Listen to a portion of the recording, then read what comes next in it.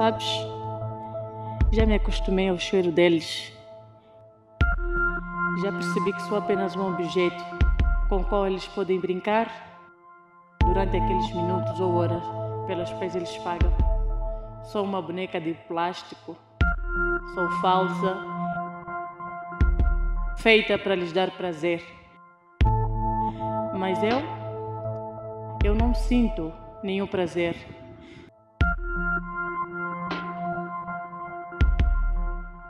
Simplesmente tive que me acostumar a esta vida. Melhor dizendo, a esta miséria que chamo de vida. Na verdade, até não me posso queixar muito. Eles tratam-me bem, dão-me presente, elogiam-me durante o dia todo. Eles gostam de mim. Mas sei que não é amor. Aliás, nunca ninguém me amou. Nunca ninguém me amou.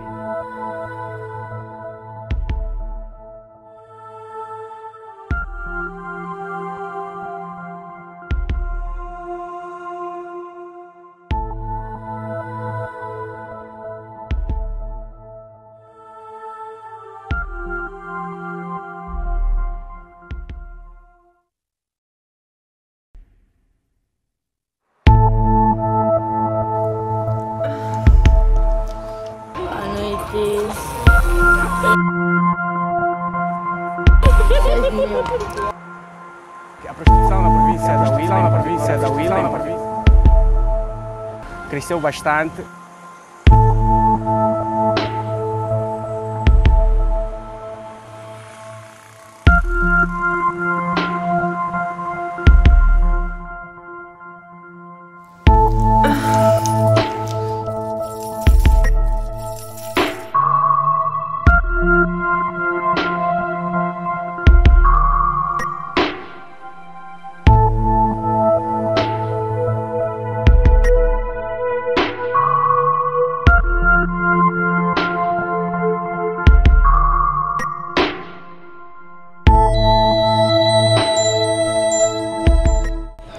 Prostituição é um fenômeno mundial.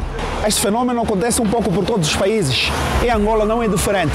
No Lubango, particularmente, também não. Estamos nas ruas do Lubango, devem ser perto de 22 horas. E nós vamos atrás dos pontos identificados como pontos recorrentes onde as mulheres se expõem para atos de prostituição. E como a ocasião faz o ladrão, eu vou exatamente nesse momento tentar me infiltrar de forma despercebida e conversar com estas meninas que estão aqui bem ao virar da esquina. Estou curioso para ver qual vai ser o resultado. Fique aí e acompanhe.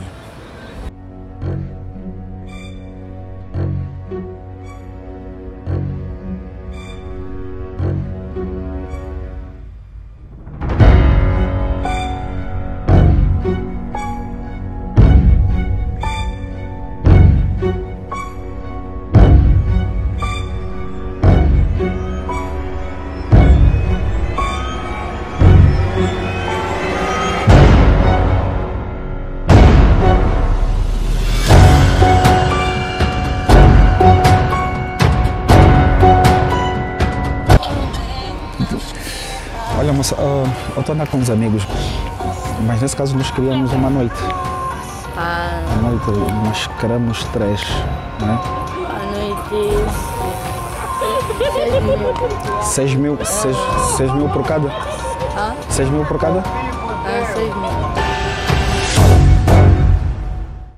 A tua amiga Rosemary Mas nesse caso, nesse caso ah, vocês aceitam se deslocar ou como é que é? A tua amiga Rosemary Pra se deslocar, bem, sem ter a certeza, porque me deixam dele na dinheiro. batata. Deixam dinheiro com alguém? Sim. A pessoa está aqui? Ah, ele. Ah, um jovem aí? Yeah. Oh, Se vocês irem conosco, é tudo. Não tem Brincar com alguma mulher. problema a resolverem, porque você deu teu dinheiro, não pode ir vão. Ainda o pai mesmo. mas como, como, como é que é a condição? É até se vir ou é só. Até que você vai se vir, depois você continua mais quando você tiver mais necessidade de mais para fazer. A noite toda mesmo? Sim, temos que preparar algumas bebidas. é isso mesmo. O ambiente é assim. Estas jovens garotas interpelam os homens pela rua, lançam a proposta e em seguida rumam para o local onde é perpetrado o ato sexual. Mas antes disso, elas são obrigadas a deixar parte do dinheiro com o cafetão da zona. O nosso repórter seguiu viagem para os outros pontos de prostituição, tendo passado pela rua adjacente ao Hotel Chic Chic, Beco 2 e a famosa pensão escola. Boa noite. Obrigado. Ah? Não percebi? Podemos ainda conversar, né? Para saber como é que é. Ah? Dois mil? Como é que funciona? Dois não é rápido. Ah, mas aqui não tem nenhum espaço. Como é que fica? Tem. Onde é que é? Queria ver aqui. Não entendi? Aqui no que? Na sua vez. Na suave. Ah, mas isso é por minutos? Aqui que você se Você fazer programa? Yeah. Quanto é que é? Dois mil. Aqui dentro mesmo? Mas a, a rápida como é que funciona? É até a pessoa se vir? É. Mas é, tem quartos aqui? Tem, tem quanto? Feita a pesquisa, concluímos que neste negócio a concorrência não é desleal, pois todas elas praticam os mesmos preços, com exceção de alguns serviços. No Beco 2, a rapidinha fica por 2 mil kwanzas, a semelhança do que acontece no Beco 2. Na rua adjacente ao Hotel Chic Chic, a rapidinha também fica por 2 mil kwanzas, assim como na pensão escola e no Grande Hotel da Willa. Felizmente conseguimos conversar com uma prostituta em exclusividade. Marisa do Rebento contou-nos tudo o que acontece.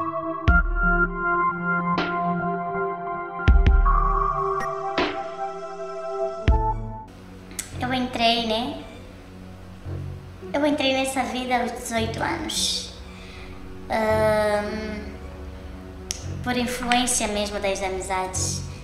Eu me lembro que quando eu tinha 17 anos, né? Eu já tinha amigas que estavam nessa vida e eram mais velhas. Algumas com 20, outras com 21, outras com 22. Ahn, eu não me orgulho, né? Por, ser, por fazer isso. Mas. Eu. A vida me obriga a fazer isso. E é porque. Bem, eu não sei como contar isso. Ah, antigamente tínhamos um sítio, né, específico, uma casa só nossa, onde as pessoas já conheciam que lá se fazia esse nosso trabalho. E ah, então, mas depois a gente vai, vai, como é que eu posso dizer? Os clientes ficam conhecem, né? Cada uma de nós. Eles ficam com o telefone e às vezes nem precisamos mais ficar naquela nossa, naquela nossa casa ou naquele nosso quarto, sei lá o que, como é que eu posso chamar. Eles ligam e aí a gente, quer dizer, primeiro éramos fixas e agora somos móveis, né? Eles ligam e a gente vai. E também depende, quando eles próprios que vêm, aí o preço é outro. Quando eles vão, ou quando a gente vai, nesse caso, né, quando a gente vai para lá, também a vantagem é outra. Então, isso é vice-versa.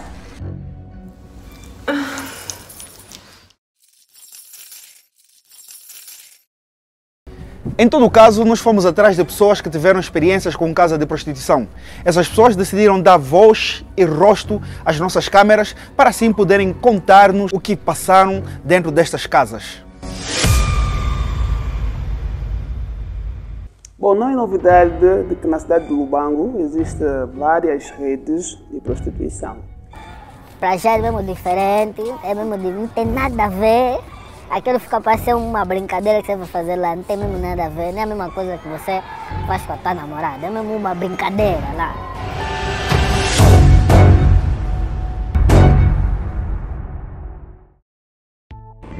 na verdade é uma situação também um bocadinho triste porque são lugares sem condições nenhuma, Condições, estamos a falar de condições de higiene, no caso? higiene, Camas. camas, né, não- nós constatamos aquilo, nunca tínhamos visto antes. Um dia muito chuvoso E eu fui com a minha amiga me esconder a, a, a um sítio, a um lugar que chamam de pensão escola.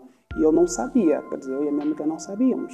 Mas o que me chamou a atenção é, é que as moças que frequentavam o lugar estavam de tuna baby, fumavam. E aquilo nos deixou tipo, ufa, aqui então, tipo, é mesmo assim, é normal. Não tem nada de especial, tem lá uma televisãozinha, porque elas vivem lá, são quartos dela, são praticamente é casa dela. É sempre um fogão, não sei o que, blá blá blá, essas cenas assim, porque elas vivem aí dentro.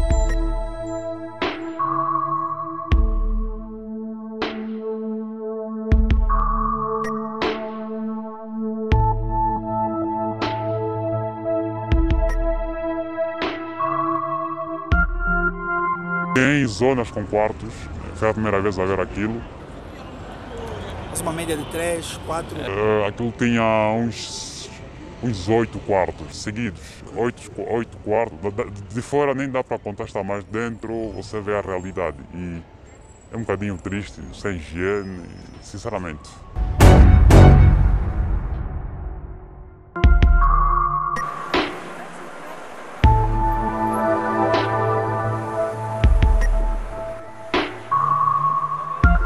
Dia não se verifica muita movimentação, pois é durante a noite que essas mulheres se expõem para os homens. Mas ainda assim podemos verificar um grupo de mulheres que aproveitam a luz do dia para tais práticas. Tem muitas meninas que fazem isso, né? tipo a luz do dia. Eu já vi. Tipo, e a luz do dia mesmo no táxi. Presenciaste? O ato como tal. Deviam ser que horas? 14 horas. Mais horas. Em asta pública. Sim. Não, pelo menos dentro do matagal. Olha, estava por cima, não estavam muito escondidos, porque lá estava assim, visível. Ela estava de quatro. Isso. De quatro. Tinha assim alguns arbustos, mas algo era visível. Não, não tinha como não, não ver aquela cena. Impossível. Eu passo ali todos os dias, quase todos os dias, então é impossível. É, é tipo, você só foi lá numa aventura só para mais chegar então, pô, um dia eu basei, eu também! Mas é mesmo diferente, não tem nada especial, uma coisa, pá! Não tem nada, tá namorando, sendo ali bem, ainda pergunta, pô, aqui tá, tá cheirando calor, não, não tem nada disso, é já direto assunto, entrou, vum, não querem saber. Não tem nada dela, ela trabalha até horário. Depois de você, outro ir, e outro ir, e outro ir, a vida vai. E como se, epa, como se não bastasse ter gays até. Gays? Gays. Quer dizer, também temos prostituição homossexual, homossexual no Lubango. Então, nunca imaginei que aqui no Lubango tivesse situações assim. O primeiro relato que eu ouvi de um amigo sobre a prostituição, ele, ele pagou seu dinheiro, foi e não conseguiu envolver-se sexualmente com a, com a moça porque um, elas têm uma, uma lei, uma prática, se assim posso e considerar, você paga o, o dinheiro e, e, depois da ejaculação é, tudo, tudo, tudo acabou-se. Então, ele nem chegou a penetrar na, na moça por, e por conta da, da, da, da fisionomia, da estrutura da, das mulheres que assim e que praticam essas, essas práticas, então ele acabou por ejacular antes de um tempo. Então foi uma, foi, foi uma primeira experiência que eu, que eu pude, que eu pude observar, ou seja, que eu pude ouvir de um amigo e ele me disse que não foi nada bem porque, pronto, gastou o seu dinheiro e não conseguiu envolver-se sexualmente com a, com a moça. Mas como é que é o processo de atendimento? Uh, chegas, vai para um balcão? Tem um balcão, tem um balcão, tinha uma, duas meninas ali, já não era, não tinha uma coisa, né, conforme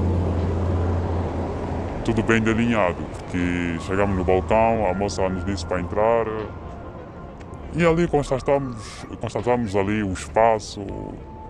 Epa, foi um arrepio. Bem, os clientes que mais aparecem, uh, tropas, né? Os tropas, Uh, eu acho que também alguns taxistas, na sua maioria, né? Taxistas. E às vezes mesmo esses papoites, sabes? Eu não posso aqui estar a falar muito para não ter que sujar a imagem de certos papoites com o mesmo cargo, mas são mesmo pessoas, yeah, talvez não são, não têm aquela satisfação em casa, então vêm aqui nos procurar e tá, epá, nós não, quer dizer, nós fizemos tudo às pressas para atender outros clientes, então nós só fazemos acho que nós não sentimos, não, nós não sentimos prazer mesmo, porque e também acho que isso é psicológico. Yeah, quando tu fazes já, quando tu fazes com uma mente assim, yeah, não sentes mesmo nada. Já pensei muitas vezes em deixar de fazer isso, já pensei, mas eu acho que não tem outra forma mais fácil de, de fazer dinheiro. É fácil porque nós não precisamos trabalhar muito para ter esse dinheiro. É difícil porque é difícil porque nós somos obrigadas a estar com qualquer tipo de homem, a gente não sabe se vem de onde, como é que se eles são, sei lá como é que eles são. Nós só nos importamos com o dinheiro que eles trazem à casa.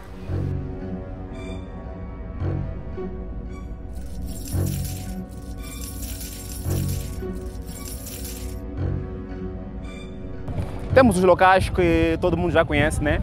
Temos locais que se podemos considerar os locais que, que, são as casas de prostituição dentro da cidade do, do Lubango, se eu posso assim considerar, como a pensão escola.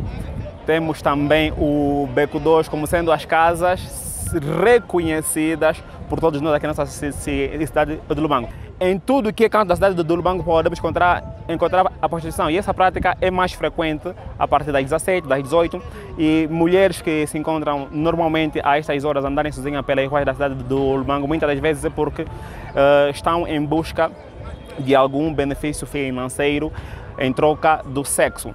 E temos locais como a Nossa Senhora do Monte, nas ruas adjacentes à Nossa Senhora do Monte, temos locais como a, a, a C Catedral, também nas ruas adjacentes à C Catedral. Temos ainda no Grande Hotel da Willa, como sendo um, um, um, local também já conhecido, mas nos últimos tempos e podemos considerar que a Senhora do Monte e, e a C Catedral têm também desenvolvido, desenvolvido essa prática de maneira muito, mas muito significativa. O que é que nós podemos entender por prostituição? A prostituição é o ato de envolver-se com outra pessoa na busca de satisfações materiais e ela pode ser feita de diversas formas, por exemplo, um, pedindo alguma coisa por alguém de forma insistente e depois de envolver-se sexualmente, uh, encontrar alguém que se calhar precisa de alguma coisa e em troca lhe peça sexo, então também podemos considerar por prostituição. E dentro da nossa sociedade, se, se for para fazer uma descrição daquilo que é a prostituição hoje em dia no, no Lubango, é importante realçarmos que a prostituição no Lubango tem crescendo de maneira significativa. Podemos também salientar que a prostituição tem a ver com, com, com fatores socioeconômicos e dentro da nossa sociedade são os fatores que muito que muitos têm é desenvolvido para que esse número de, de, de, de, de práticas venha aumentando cada vez mais na nossa sociedade.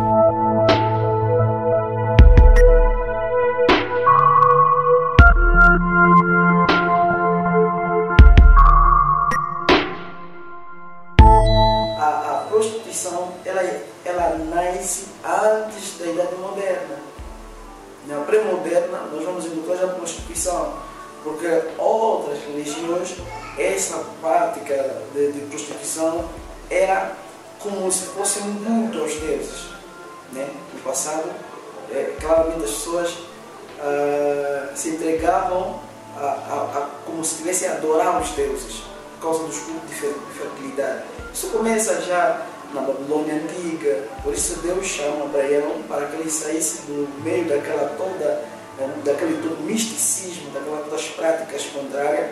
Então Deus é, convida ele para sair do meio dele. Ele sai do seu povo, da sua parentela, da sua terra, por causa daquela toda. Parece que a prostituição ela acabou por globalizar naquela época, naquele mundo da Mesopotâmia. Então Abraão sai daquela terra é a Mesopotâmia vai ter essa prática, a Grécia vai ter essa prática, o Egito vai ter essa prática, hum, os médios persas não têm essa prática e, e nós conseguimos entender é, com mais ênfase até é, na Grécia por causa da adoração que se fazia para, é, para Afrodite, que era a deusa da fertilidade. Eles faziam essa adoração e também existia sacerdotes e sacerdotisas prostitutas. E nós podemos fazer aqui um enquadramento psicológico e sociológico, sociológico da, da prostituição da província da Huila, em particular, no município do Lubango, que é a questão que nós estamos aqui a levantar. Na questão sociológica, nós vimos que, em função das dificuldades que as famílias vêm vivendo e atravessando, por causa da crise aqui, evoco mais uma vez, elas buscam a necessidade de satisfazerem os seus desejos principais ou primários, podemos considerar. E aqui tem um papel importante a igreja, que é aquele que aconselha as famílias, as escolas que participam diretamente também, para que haja uma consciencialização por parte dessas famílias. E o enquadramento psicológico é que uma pessoa, depois de ir às casas de prostíbulos ou de prostituir, ela não vive em paz depois de um tempo, porque quando eu me envolvo com alguém sexualmente, alguém que eu não goste, por exemplo, tarde ou cedo acabo por sentir alguns remorsos. E esse remorso há de me seguir durante a vida toda. E normalmente nós conhecemos pessoas que têm estado constantemente na, na pensão escola ou no beco 2 como, como sendo uma, uma forma de buscar a satisfação sexual. E essa, essa, essa satisfação, se assim nós podemos relatar, normalmente é, é uma satisfação não completa porque é, é, estamos a falar da, é da prostituição. Tens, tens, tens algum tempo determinado que as, que, a, que as moças que assim praticam cobram para que tu possas exercer aquilo que você pagou. Ou seja, tu pagas por algum tempo de, de, de determinado. Mas depois verás que a, a, a tua mente, a tua psique, ela vai te prejudicar, você poder se lançar do precipício para baixo. Então ela te eleva, mas também te abate, ela causa suicídio. Então todo o, todo objetivo, o objetivo último da prostituição não é a destruição, porque ela mata a tua moral, destrói seu caráter e ela rouba a tua dignidade. A prostituta não é simplesmente aquela que nós encontramos nas casas de prostíbulos. Pelo contrário, há quem até consegue aqui trazer uma nova abordagem ao dizer todas as pessoas que se envolvem sexualmente com outrem, a busca de, prazer, de, de, de bens materiais, podemos considerar também como prostituição. Porque a prostituição é encarada no sentido de ser habitual, recorrente, não é só uma vez. Aquelas, aquelas pessoas que fazem recorrentemente, isso é que nós chamamos de prostituição. Dentro da relação bíblica, o relacionamento tem que ser um relacionamento puro, que cumpre a dualidade, que cumpre o companheirismo e que cumpre a reprodução né? E, e, toda a relação que, que, que, não tiver esses princípios, ela é contra a Bíblia. E contra a Bíblia é claramente é uma relação imoral e que é condenável. Então, para isso, posso dizer que toda a prática de prostituição que no Antigo Testamento é, é, que é definido do hebraico como deixar, e o Novo Testamento traz a ideia de porneia, que é prostituição. Os preços variam por noites, variam por horas também, né? e por minutos. Se, por exemplo, tiver com uma agenda, porque também às vezes é por agenda, porque tem clientes que ligam mesmo e dizem não, quero contigo. Então, quando eu sei que estou à espera de um cliente e, e um outro antecipa, aí se for rápido, os preços variam de 6 mil, 6 por noite, 12. Às vezes cobramos mais quando vemos que são, quando vimos que são aqueles cotas que eu te disse, aqueles pais, né? Que eu não posso estar aqui a mencionar porque pode. Yeah. Se nós escolhemos as pessoas é de acordo às suas possibilidades financeiras. Yeah. Não escolhemos por pessoas por físico, por físico, né? nesse caso está me referir à altura, beleza, alguma coisa. Nós não vemos nada disso. O cliente chega, damos os nossos preços, se ele for de acordo, então a gente faz o nosso serviço e se não for, nós também não aceitamos. É só isso, não temos escolha.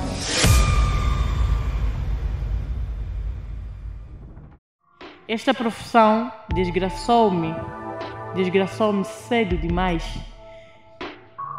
Neste jogo de sedução, no início acreditava que um dia alguém me ia salvar, alguém me ia libertar desta prisão. Mas hoje sei que já não há nada nem ninguém que me possa ajudar. Eu estou presa neste mundo onde as mulheres são brinquedos e os homens são os donos delas.